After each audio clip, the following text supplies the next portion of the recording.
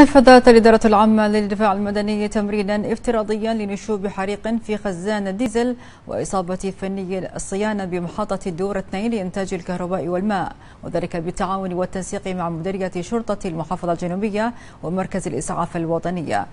ويأتي هذا التمرين ضمن سلسلة من التدريبات العملية لرفع جاهزية الإدارة العامة للدفاع المدني والجهات الأخرى ذات العلاقة بالتعامل مع جميع البلاغات وقياس مستوى الأداء والجاهزية وسرعة الاستجابة وذلك بهدف حماية الأرواح والممتلكات وتعزيز سلامة المباني أثناء التعامل مع الحالات الطارئة بالإضافة إلى تقييم الاستعداد لتنفيذ الخطط المعدة والاستجابة للقيام بعمليات الإطفاء والإخلاء والإنقاذ في المباني والتواصل مع الجهات الرسمية المختصة أثناء ذلك.